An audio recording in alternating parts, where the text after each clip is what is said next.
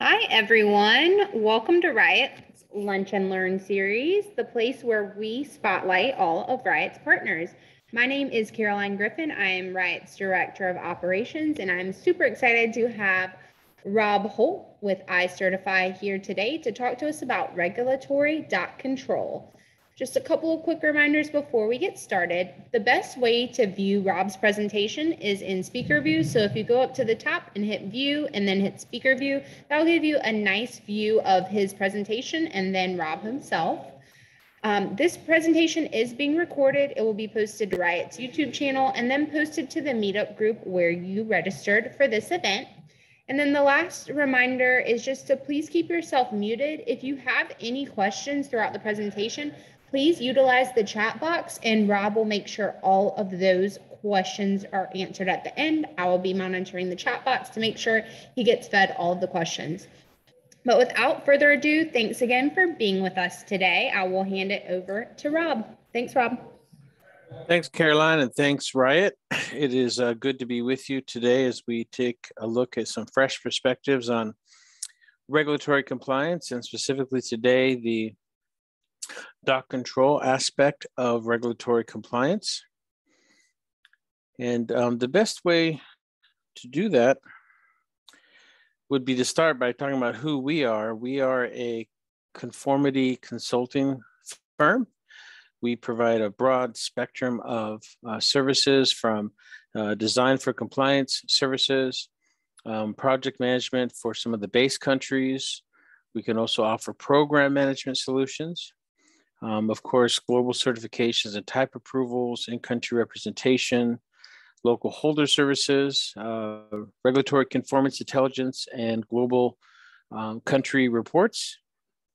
Um, authorized representative services, especially in Europe right now. And uh, as we'll touch on here in, in the slide, are certification management services. So what's the problem? Well, what the way I like to look at it is that it kind of starts with the executives. Um, most executives in a startup initially uh, manage compliance as the company grew, but you know eventually uh, the details grow beyond the ability, the executive's ability to manage, and they have a thousand and one other things to pay attention to, um, not just compliance, but potential product recall issues, are lots of RMA issues, and you know most executives just get overwhelmed. Um, so at some point the the the delegation is placed upon somebody either one or more people to manage all of the regulatory compliance. However it is the executive uh, someone in the organization director uh, supposed to be an officer of the company that signs the doc um, and with those kind of people, uh, typically a, a, staff as a company is growing, a manufacturer is growing. Um, you have an engineer who's a design engineer. Um, sometimes there'll be a separate person who does a lot of the validations, whether it be on the hardware validations or smoke testing on the software. Um, somebody possibly focused on radio and antenna issues. And uh, if you're lucky, you get a technician to support the team. Um, but the problem is someone in that group or even an outside of hardware um, will get will get tasked with the compliance role. I've seen many design engineer uh, have to take on this role of managing regulatory compliance on top of their role as a design engineer. Um, you know, the job description they were hired for does not include compliance, but yet is expected as part of their job. Um, so the conformity learning curve coupled with the workload often leads to people always being behind, working extra hours. And I've seen lots of times burnout and attrition. So what should should organizations think of this role as being? Um, I call it an administrative compliance engineer, someone who can, who can provide conformity assurance for the hardware, uh, devices, and manages all of the associated doc control. Um, uh, other titles I've seen are regulatory engineer, compliance clerk, compliance coordinator, compliance facilitator, compliance librarian, archivist. Um, it's all of the above at the same time. Um, now, there has been a move recently to dedicate one individual that is outside of a particular department, maybe someone directly uh, up to a VP or, or the president um, or to the general counsel. Um, that removes the potential for uh, preferring one department over another. Um, and at some point, it just makes sense to pull back from outsourcing and, and have some uh, most of these obligations handled internally. And as the company starts to sell products around the world, this can lead to a homologation specialist role um, and eventually even a corporate compliance officer for uh, compliance issues that are beyond uh, you, you know, hardware, software. Um, and you need somebody dedicated to this because most authorities provide only 20 to 45 days uh, to produce requested documentation or evidence. Um, and so you really need to have a, a, streamlined process for easy retrieval of needed items. Um, and so to help um, illustrate this, you know, I consider this role to be a hub in an organization with spokes going out to other departments. Um, the first one that would logically come to mind would be engineering or the hardware department.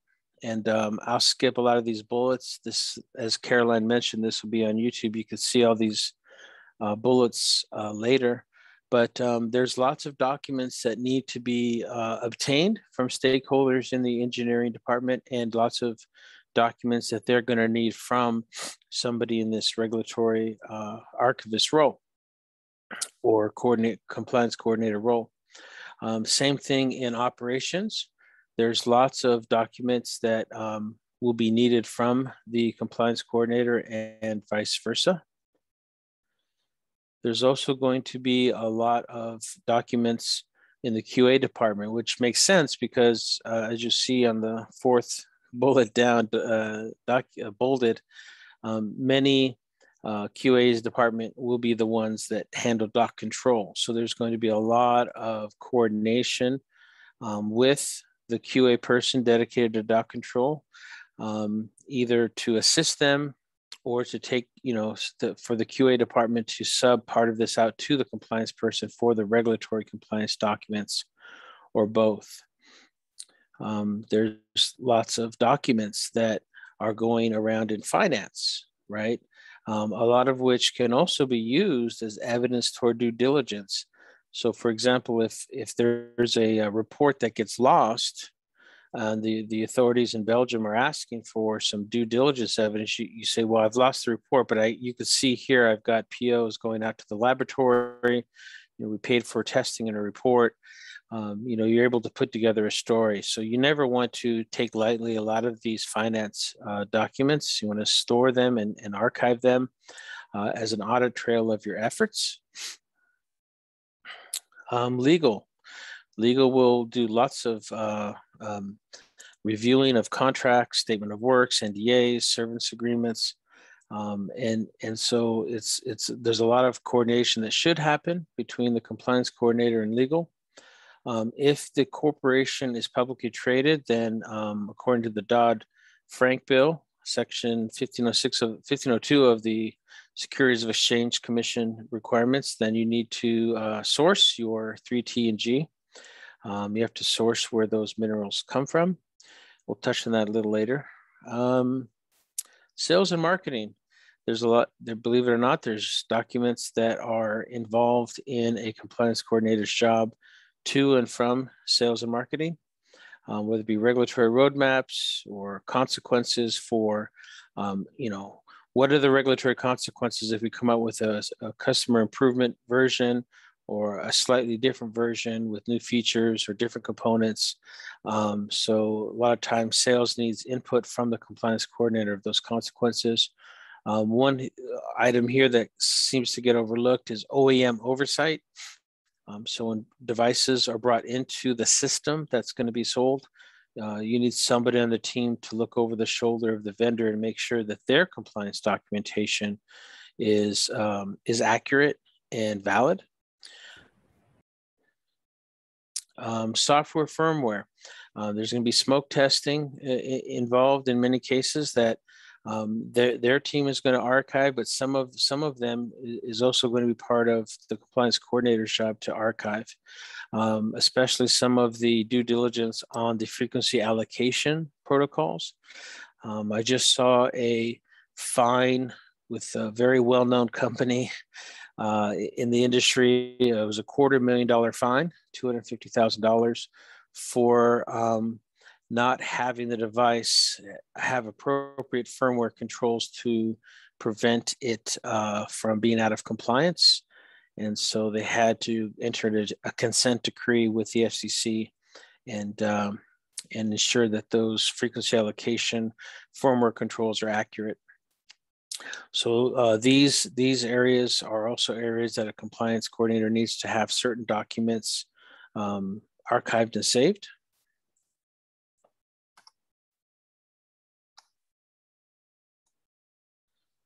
And for some reason, my enter button is not working all of a sudden. Here we go. Okay, sourcing department. Um, there are things that can be requested of the buyers to help uh, you comply with your um, with your responsibilities. So, for example, um, instead of waiting for a deal to be made and a purchase to be made, and then asking for that vendor to provide you regulatory documents, there can be scripts and um, instructions for the buyers in the sourcing department to make sure that they have uh, certain documents provided before they agree to um, uh, purchase a part or a component, or as you saw in one of the previous slides, when you're you're you're buying um, when you're buying uh, something that's going to be integrated like a battery, you want to make sure that all you have you request that documentation and re review it ahead of time before the purchase is made. Once the purchase is made, you have no more leverage or little leverage. Um, so this slide helps illustrate for, for everyone the high level disciplines that we're talking about. These are high level disciplines that are required at some sort or at some level uh, to be met uh, for um, either quality um, or regulatory. So we've got electromagnetic compatibility, um, and you can see there's a bunch of different aspects to electromagnetic compatibility, the digital device side, the RF side. Um, making sure that the uh, design for compliance is already built in early on. You've got product safety, you know, NRTL, European, uh, the ICCB scheme. Um, that's for how safe a product is for a given environment, for a given product type.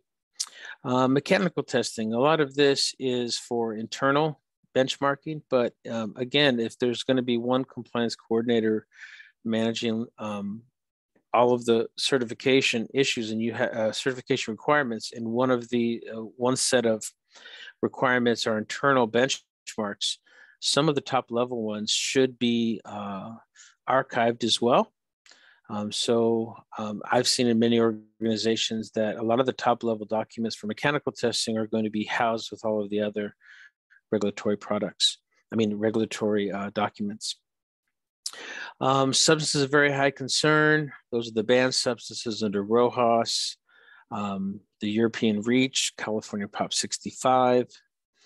Um, you see sustainability here. That's the uh, reuse recycle in Europe, and many uh, countries around the world are starting to adopt these reuse recycle. You have energy efficiency um, for the uh, adapters and for the battery charging systems. And here we're going to take a little bit deeper look just to help give you the uh, impact of how much documents that we're really talking about. Um, so starting off with that first um, uh, discipline here, EMC, you're going to see you have an unintentional or digital device side of, of a product. Um, and let me just take a step back for some of those who are really new to, to this aspect of the industry, product development. Um, if you have a toaster oven and it plugs into the wall, that's an electrical device, right? It needs electricity to, to do its intended function.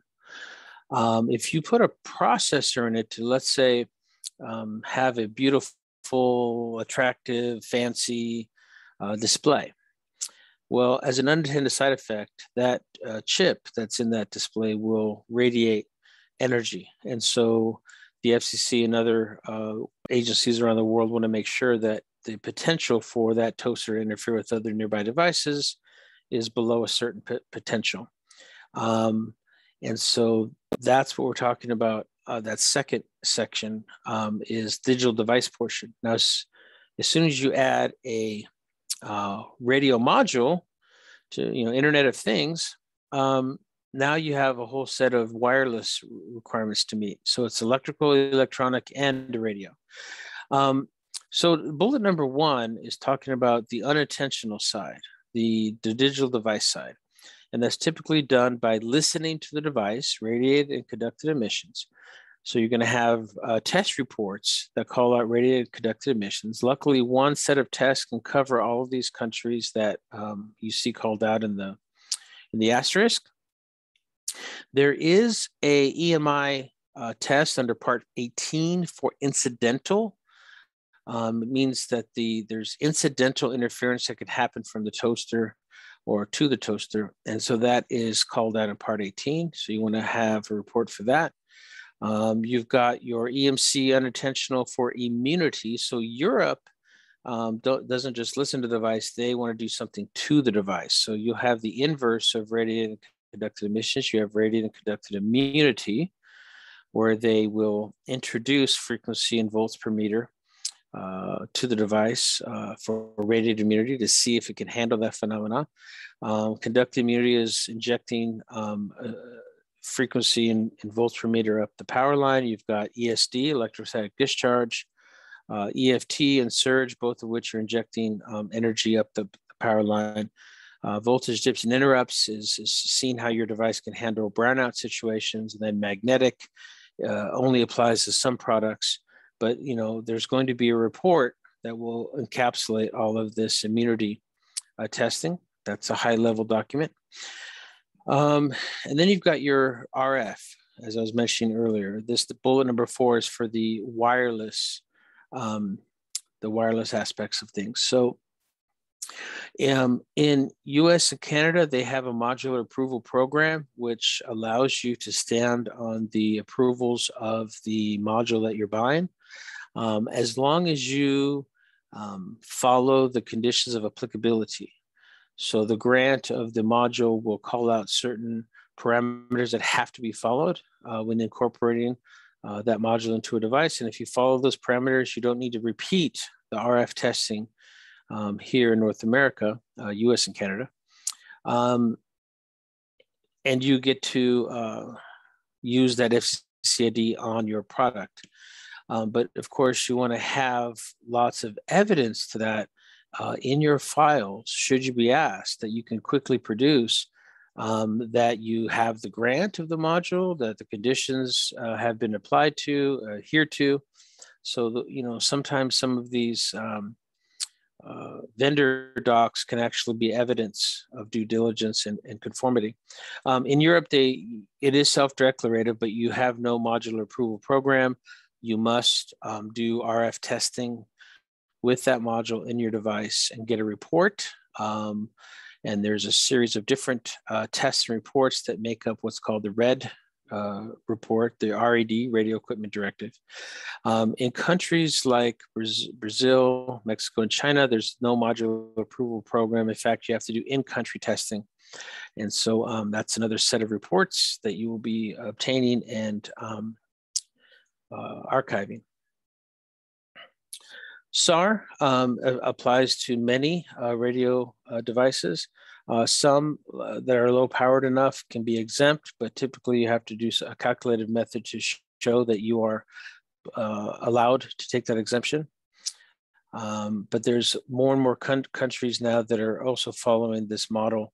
Uh, Mexico just updated their SAR approach uh, earlier this year. Um, then we go on to product safety, um, where in the in the U.S. you have the nationally recognized test laboratory program. We call that NRTL, or some people call it NRDL.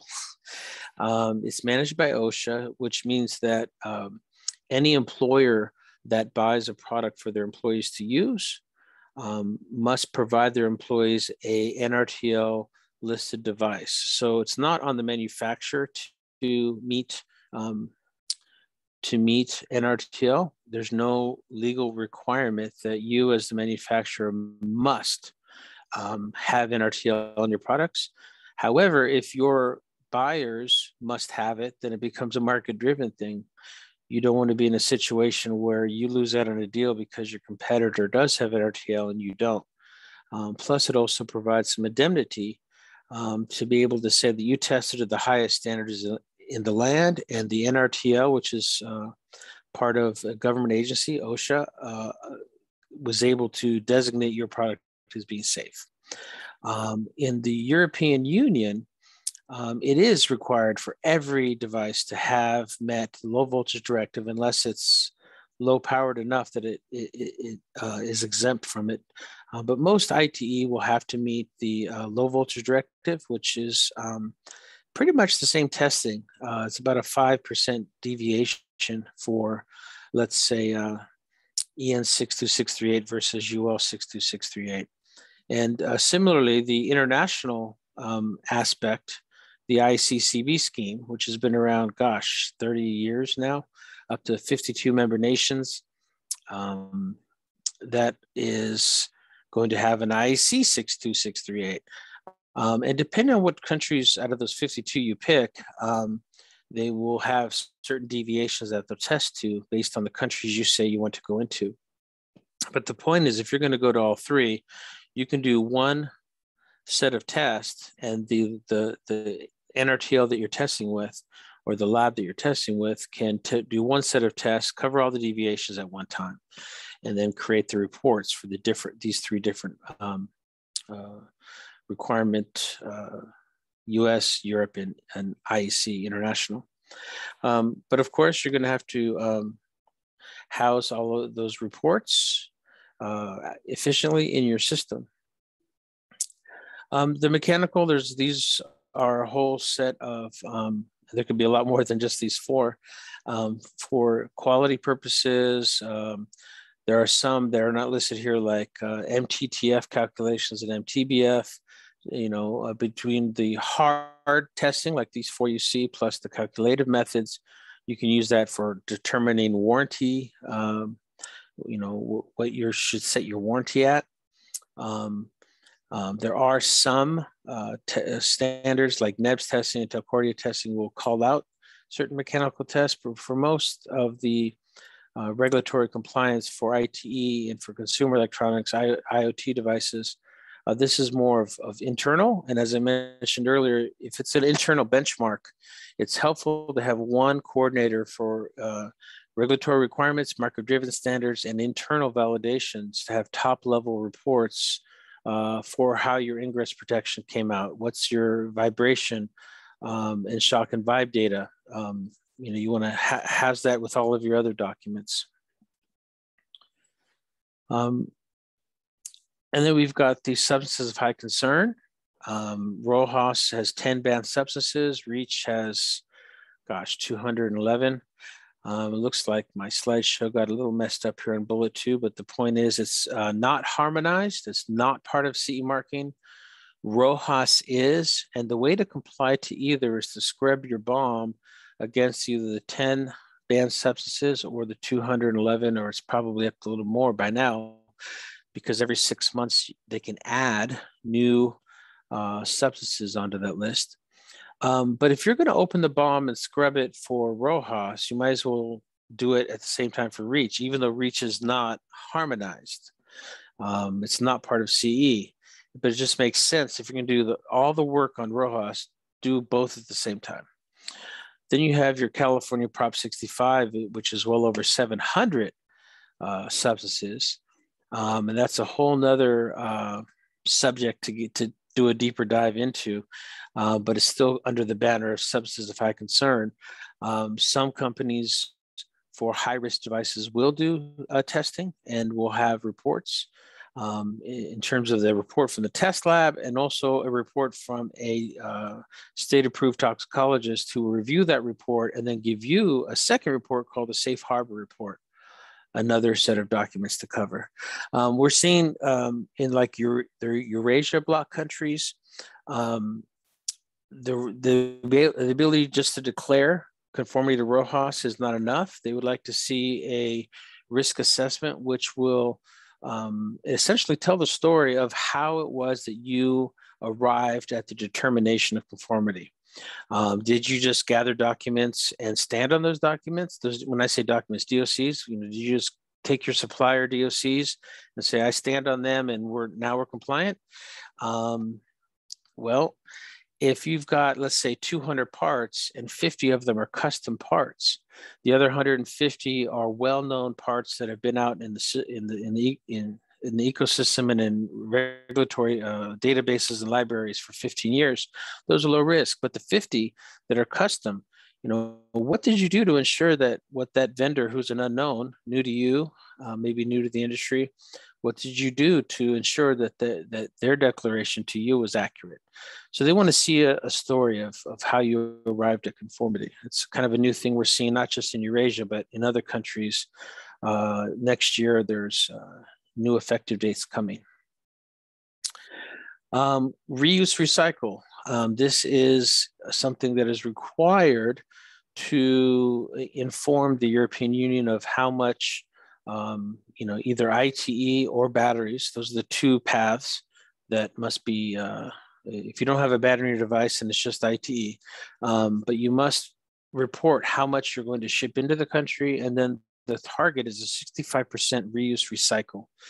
Um, and how do you do that? Well, one way is to have products returned to your um, to your headquarters or um, you know, a local office in Europe. Um, and you can do that on a regulatory page of your website or through other ways of getting those instructions to your customers. Um, but the requirement, part of requirement for WEEE is to sign up with a producer uh, scheme, which is a fancy way of saying a, a, scheme of recyclers, a consortium of recyclers uh, throughout those 27 member nations uh, of, of Europe where you um, will give them a certain level of, of data like your block diagram, your uh, uh, bill of materials. So they know when a, when a product comes in, what's in that device and where, they disassemble it to recycle it. Um, and at the end of the year, they that produce that recycler uh, scheme that you sign up with will take whatever's been returned and give you a report. You have to combine your internal uh, data with your recycler data and combine those and see if you met the target. It's a lot of extra paperwork, but again, that's what today's uh, topic is about, is managing all these documents.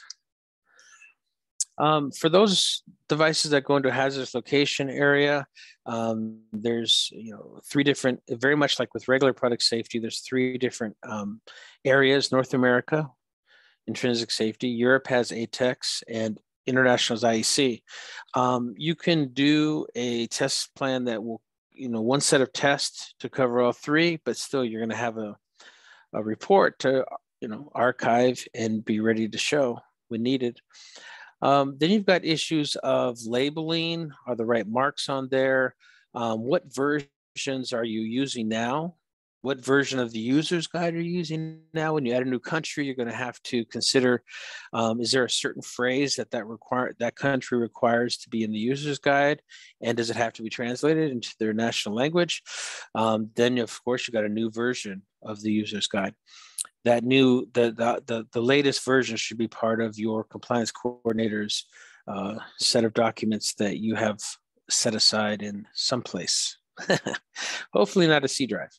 Um, and then of course you've got type approval certificates. So if you've got your FCC report, um, a lot of the uh, South American countries uh, will accept FCC. Most of the other countries in the world want to see a European RED report as, as your base uh, document of evidence, and then some other um, uh, requirements they want to see.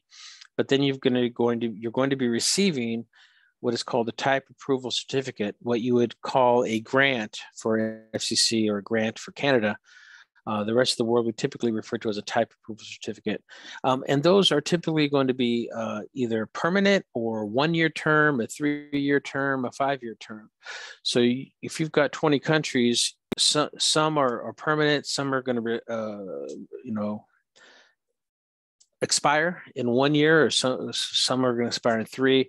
So you have to keep on top of making sure you don't let a renewal um, slip. And then it's a lot more painful to have to do it again versus just renewing.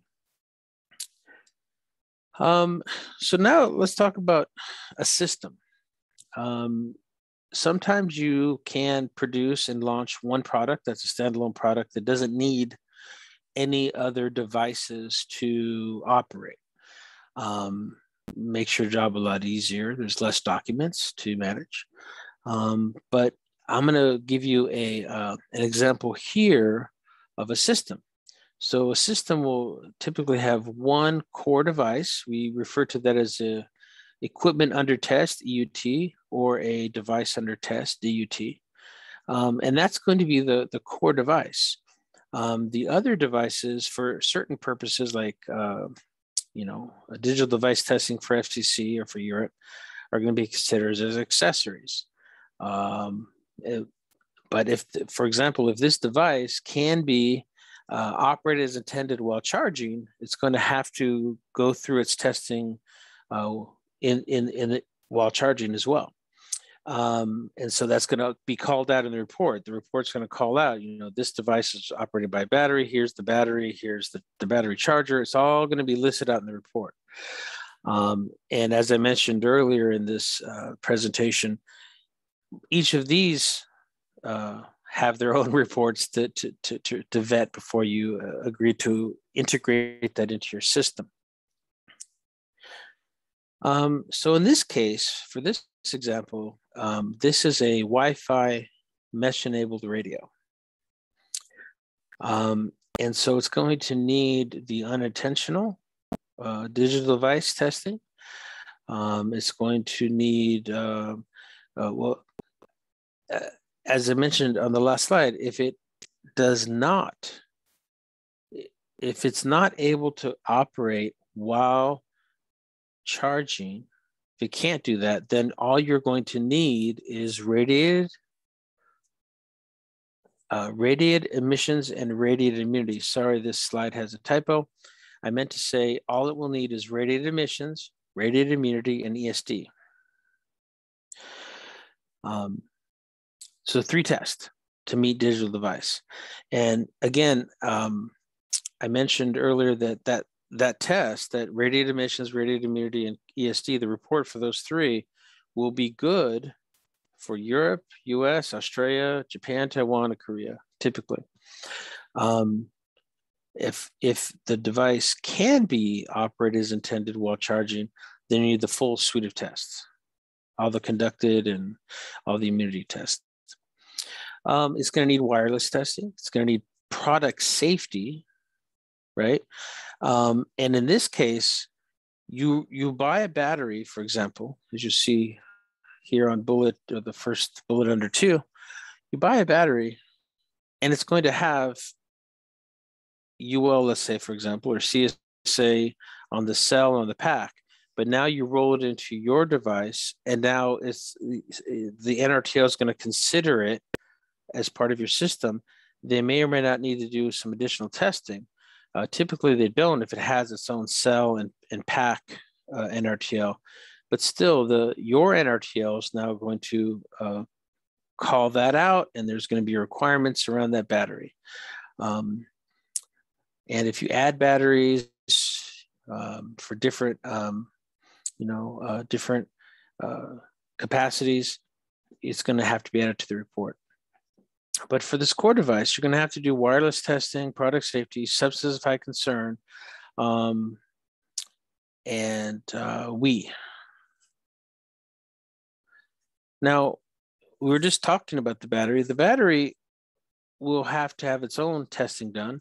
Typically, the battery manufacturer will, will test it in a representative end use scenario.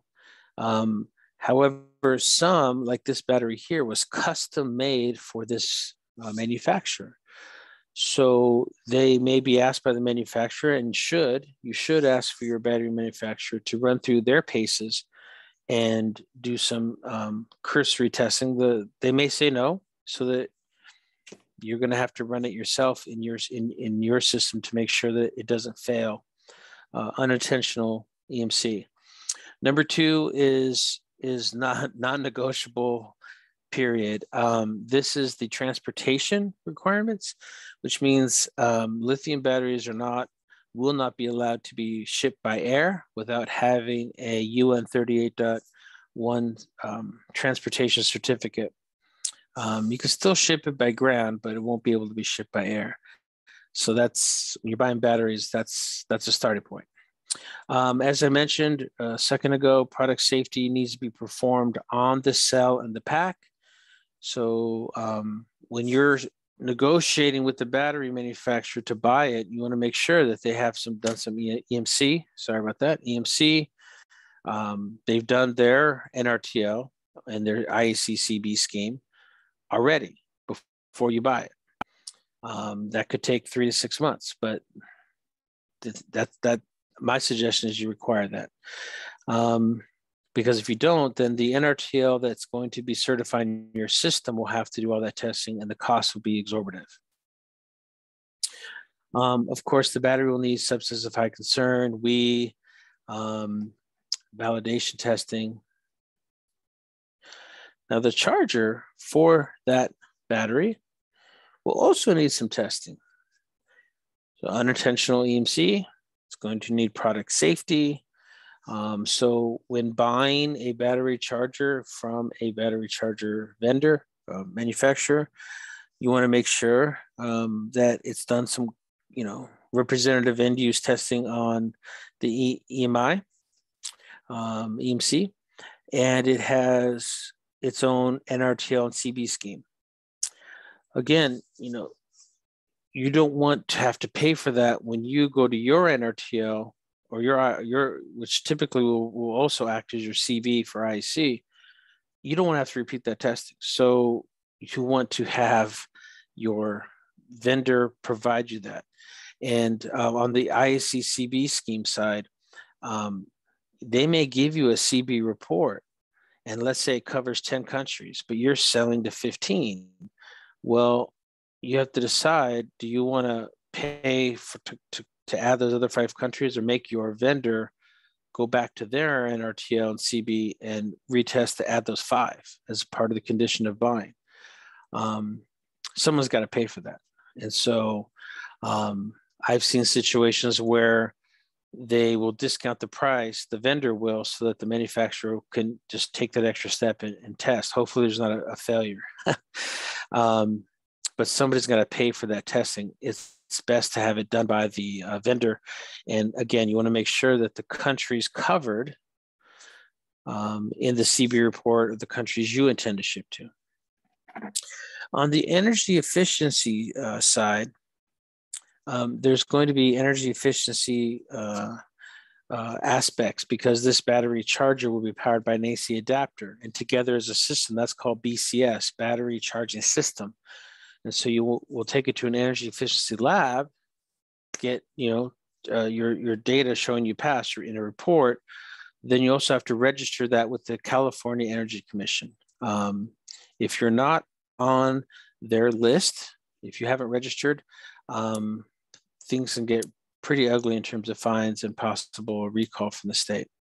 Um, you're gonna, you know, the, the, battery charger will need RoHS and Reach as well as part of your uh, WEEE for Europe. Now the AC adapter, same thing. It's going to need uh, the digital device portion, uh, documents you're going to get from them, product safety you're going to get from them. Same scenario. They want to cover the countries involved that, that you're going to be shipping to. Um, and then on the energy efficiency side, energy efficiency side, it's not going to be a BCS, it's going to be an EPS where you're going to test just the adapter and you're going to uh, call out uh, the on your marking what rating you receive. So some countries will accept a Roman numeral five, others want to see a Roman numeral six in terms of the higher, the highest right now is six. And then you need to do uh, registration. um, as well. So in addition, you're going to have to uh, uh, take that report and register with Canada and also with Australia. Those are the two countries that require registration. And of course, the adapter is going to need RoHS and Reach and WEEE.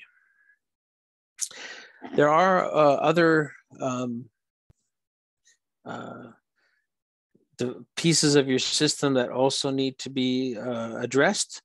Um, so this lanyard typically uh, will lay on the skin of the user all day. For this particular system, it's a lanyard-based uh, radio that they're wearing. Um, and so what inks are in there, uh, for the label, for example, for packaging, what were the adhesive and inks made? There's a packaging directive for Europe that wants to know that more documents to acquire, more documents to archive. Um, and then you've got reuse recycle requirements under the packaging directive, more documents. Um, it's just, it never stops. Now on some IoT devices, like the system I've been talking about, this Vocera system, are body worn. And in that case, you're you'd be well advised um, to get telemetry testing done. Uh, the top lab is the Georgia Tech Research Institute. They're the top lab doing telemetry testing. Uh, but it's very important because let, us say uh, you have a nurse and the hospital saying you must wear this as part of your job. She's like, I'm scared. I have a pacemaker. Um, then the hospital can go to you as the manufacturer that, and you can give them a telemetry report uh, documenting that your device is safe within a certain um, distance from the pacemaker. Um, another report to archive and uh, manage. We touched on this before, but for the uh, conflict minerals, if you're a publicly traded company, um, you must source your 3T and G, your tin, tantalum, tungsten, and gold. Where did it come from? Which mine? Believe it or not, they want to know which mine. Uh, the Republic of Con- is this has to do with the Republic of Congo and all of the eight surrounding countries.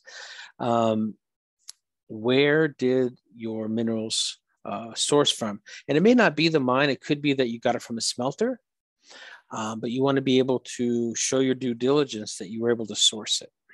And then uh, there's a CMRT, the conflict minerals reporting template form.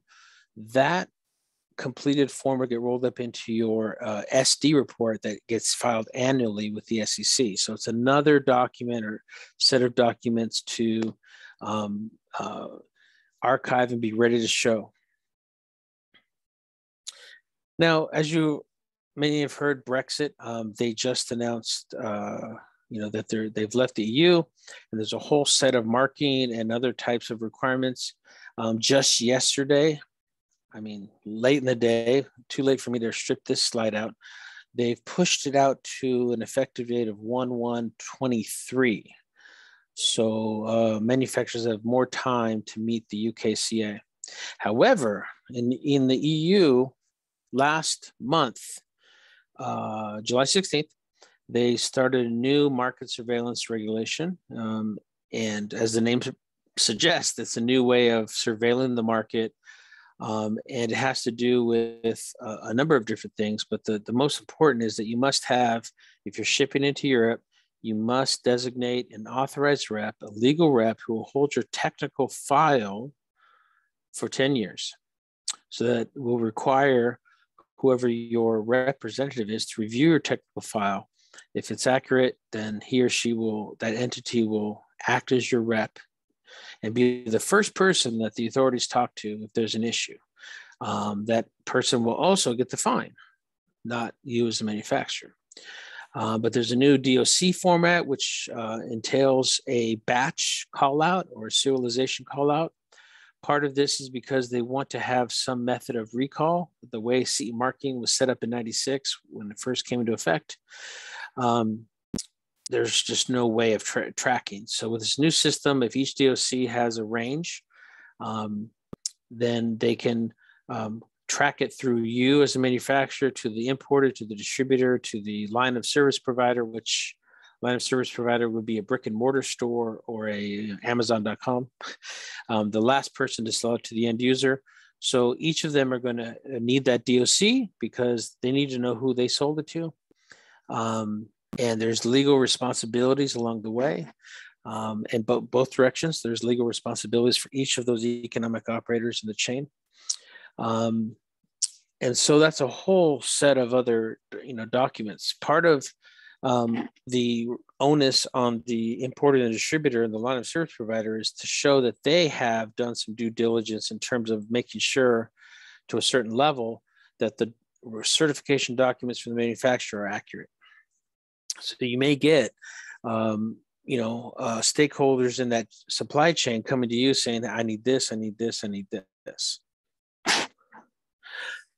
Point is, that's a lot of documentation.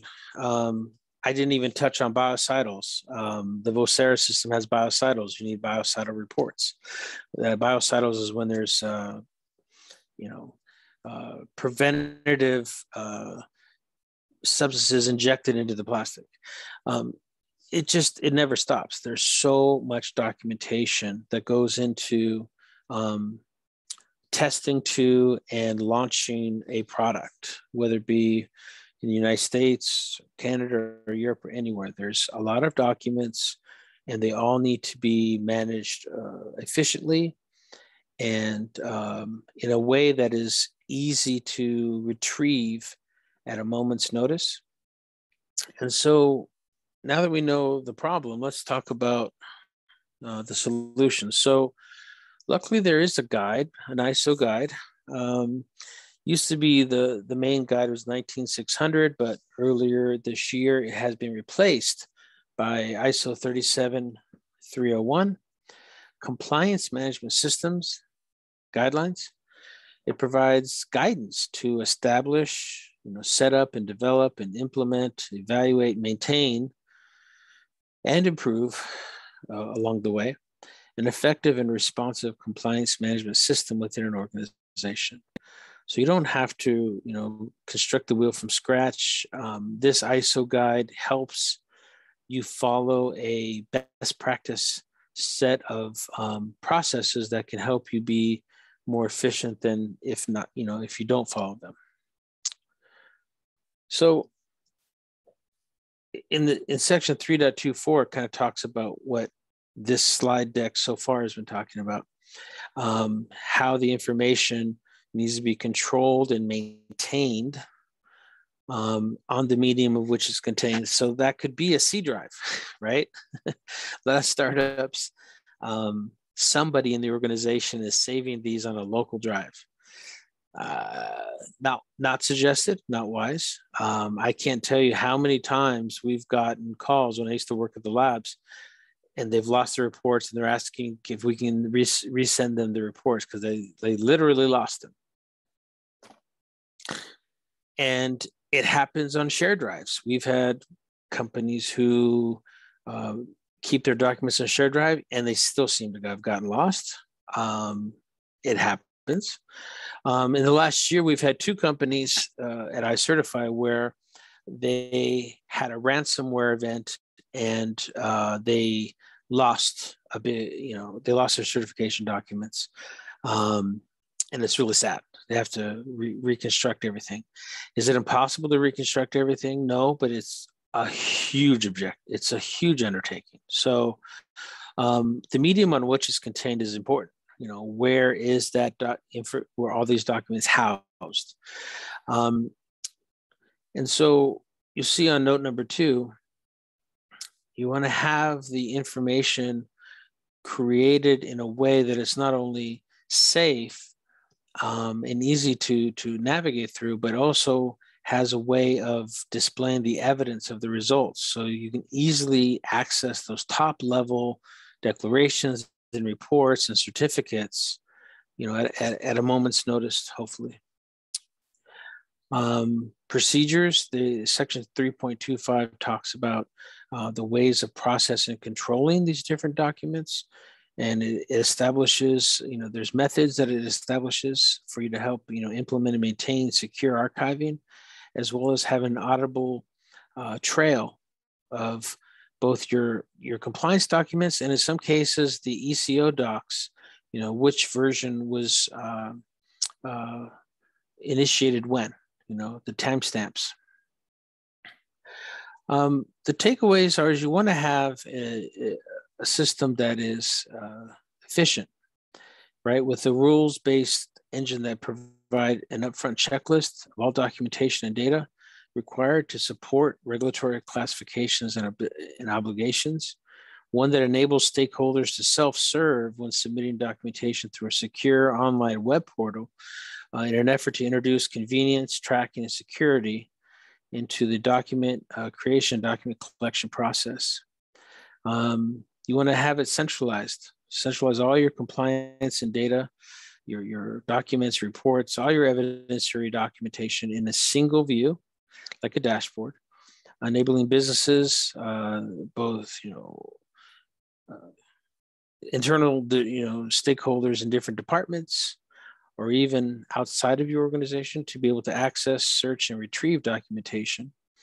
Um, and ensure regulatory coverage through document auditing. Um, you want to be able to um, show how many documents are held and how many are outstanding. We talked about um, certain type approval certificates having certain terms, right? And so you want to set up a rules-based uh, compliance determination to show uh, what needs attention when, so that you're just not uh, winging it, that it's it's all baked in on the front end. Um, and so that helps to have a uh, algorithmic or rules-based system to automate uh, this system to alert uh, the compliance manager of key renewal dates. Um, there's seven that I've seen that are very important to keep in mind. Um, you want to establish a comprehensive document control procedure um, per that ISO guide. Um, develop workflows for all document types, and then have a siloed or decoupled repository for all compliance documents. Um, you want to don't not forget to consider how best to configure metadata. Um, if you're not going to have a uh, a, an, a, a portal-based system like a third party system that uh, can tag things for you. If you're going to do it on a shared drive internally, like SharePoint or Agile, then consider using metadata for quick retrieval of uh, certain documents per keyword. Um, of course, you want to protect the data integrity. Um, that the the uh, you know revision revision controls or, or in revision audit trails. You know, timestamping is part of it, but also uh, from, from hacking and ransomware. Um, change requests, revision control, and obsolescence processes are important. And uh, you want to have the ability to uh, report. So you need to build in re integrated reporting capabilities. Um, what can I, uh, iCertifi do to help? Well, we have something that we built out just for this situation, which is a fully encrypted certificate repository um, that allows you as the manufacturer to manage and track all of your global, you know, domestic and international type approval certificates within a single interface. It is a secure portal and it allows you to track certificates uh, through a, um, either internally or through uh, partners in a very easy to access site and you can uh, use queries and run reports based on some criteria like brand, model number, country, expiration date, certificate number. Um, we're in a process right now where a manufacturer wanted us to tweak our system for their use case.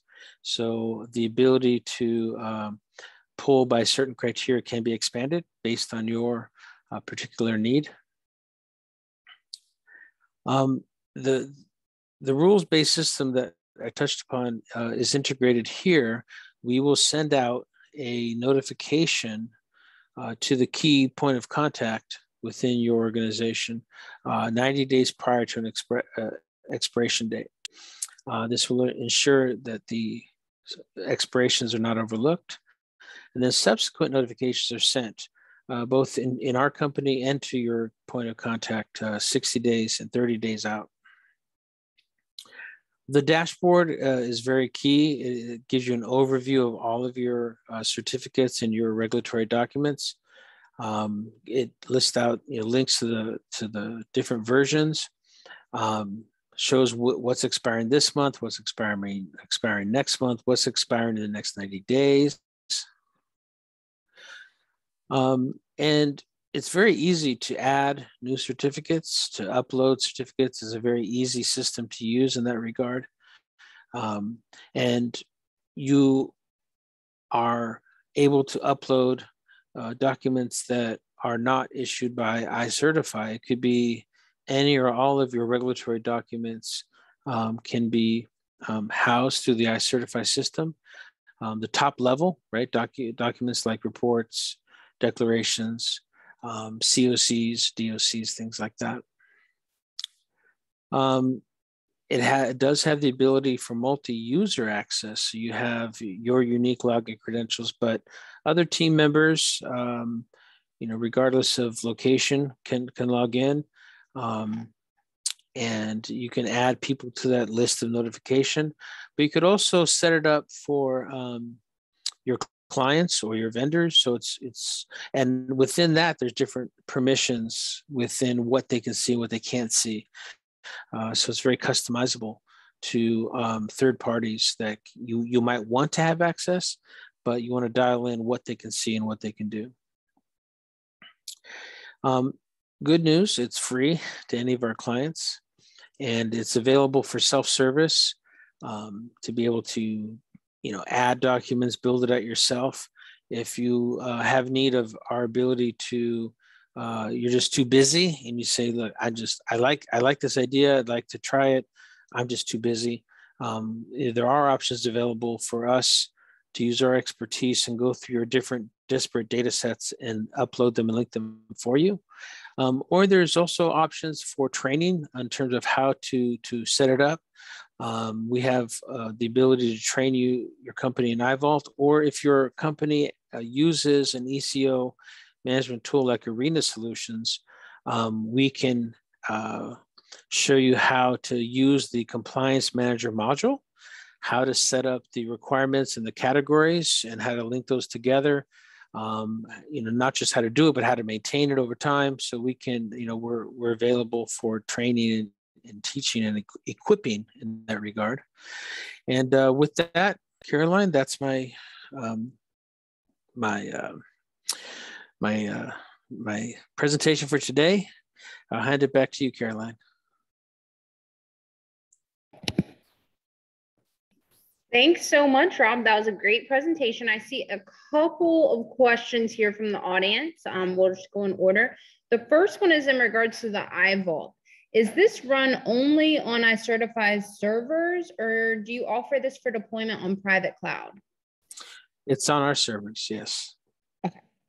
Awesome. Thank you for that, Rob. And the second question is also about iVault storage limits. Is there a size of data to retain, a, a limit on the size of data? No, not this time. All right, let me scroll up. Um, this one here. Could you please touch on medical devices, for example, 510K devices that include electronics, firmware, and Bluetooth wireless? What are the pre-compliance review recommendations if that is within your practice area? Great question. Um, 95% plus of our clients are considered a, uh, an RF device, right? Um, either Wi-Fi or cell or LoRaN, um, Bluetooth.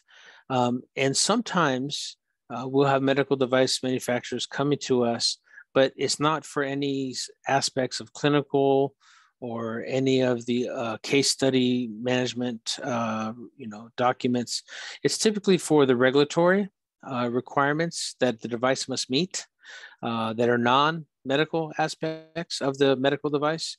Um, so we do have solutions for the non-medical side of a medical device, right? That would be the digital device side, the RF, product safety, Bluetooth certifications, which we do offer uh, Bluetooth. Uh, we have a BQE uh, on our team that can can help with uh, mapping it out, getting the testing done, and, and registering. Um, but uh, the medical device side of medical device devices is not something that uh, we've really delved into at all. Um, that said, if you want to use iCertifi for uh, your um, certificates on the, you know, for EMC, product safety, and you want to add some other documents that are uh, part of your FDA requirements, um, iVault can be used to house those documents, but we, we wouldn't be able to help give you guidance on pre-compliance uh, for FDA. We can give you pre-compliance like design for compliance on the EMC side, uh, construction reviews on the product safety side, things like that. Hopefully that answers the question. Thanks so much, Robin. If not, um, we can connect you directly. Um, next question here, looking for differences in certification requirements for a power supply versus a power adapter. Most international markets differ in these requirements. Would iCertifi have any references to these requirements or a resource? Yes, so we have a NARTE certified engineer on our team. So um, he's been at this, gosh, since 1978. So he's been doing this over 40 years. Um, and NARTE is the highest level of certification that product safety engineer can, can, can get. So if you've got a question of uh, what what regulations apply, what is the best designation? Is it is it an adapter, a power adapter? Is it a power supply? We have resources to help guide you in that area. Amazing. Thanks, Rob. And we'll take one more question here ownership of the data is in the gray area. For example, even if the law dictates that for privacy reasons, the data cannot be shared with iCertifi.com within government agencies. However, these days, the government, upon calls, can force iCertifi.com to disclose their data like they did for Facebook and Google. Do you have insurance for that? Um, if you're asking me if the, I think what you're asking is, um, if we have a secure um, repository and we meet a whole list of requirements to be able to say that it's fully secure, and I can provide that to you if you want to email me later. Um, that's one thing we are asking. It sounds like you're asking if the government comes to us and says, we'd like to have access to this company's uh, product data, or at least their certificates that are listed on the site uh, without a warrant. You're asking if we would share that uh, without a warrant? Uh, we've never been asked that question. I would assume my my administration would say no. Without a warrant, we would share nothing. But uh, if you could email me and clarify your question, I'd be glad to answer it in more depth later. Awesome. Very helpful, Rob. Thank you so much. Again, thanks again to everyone for attending. Thank you, Rob, for a very informative presentation as always please reach out to Rob, rob at icertifi.com with any questions. Of course, you can always reach out to RIoT. Um, we appreciate your time, Rob. Thanks so much. Take care, everybody. Bye.